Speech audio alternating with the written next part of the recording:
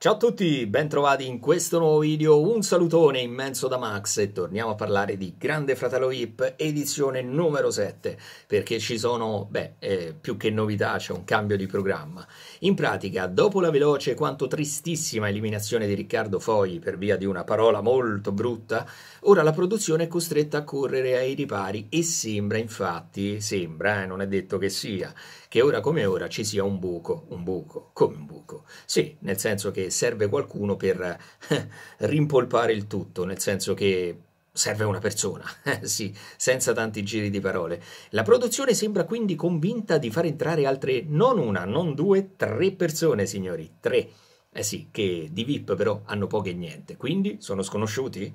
Da quel che si dice, il giornalista Gabriele Parpiglia a Casa People ha detto stanno per varcare la porta rossa tre nuovi concorrenti. Ma chi sono? Eh? I tre porcellin?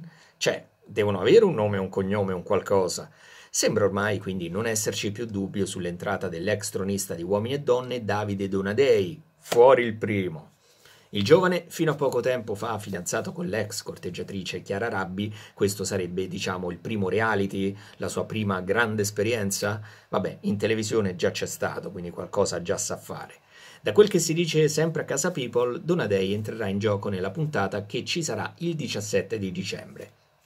Proprio a ridosso del Natale, quindi un po' di giorni dopo, sarà il momento di accogliere altri due semi-vipponi, quindi qualcosa a che fare con i VIP ce l'hanno. Parliamo di Nicole Murgia, sorella del calciatore della spalla Alessandro Murgia ed ex migliore amica dell'influencer Vittoria De Ganello e il difensore Andrea Maestrelli. Se qualcuno in questo momento sta dicendo ad alta voce chi? Chi?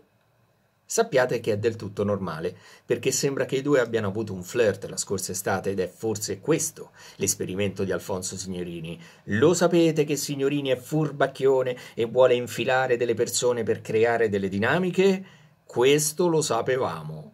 Ed è così, infatti. Chiaramente i due ex fidanzati si ritroveranno così a condividere l'esperienza di vivere nella stessa casa con tante altre tentazioni, una roba che il grande fratello ha già sperimentato, certo, ve lo ricorderete, no? Con Sole il Sorge e Gianna Maria Antinolfi. Unica cosa interessante saranno le ultime informazioni che la donna porterà riguardo la gravidanza di Vittoria De Ganello. E poi parliamo della corteggiatrice di uomini e donne che fino a qualche mese fa era legata al fratello. Sembra infatti che Vittoria sia stata mollata dal fratello della nuova concorrente appena avrebbe saputo della gravidanza. Certo, sono notizie che non è che fanno piacere, però sta di fatto.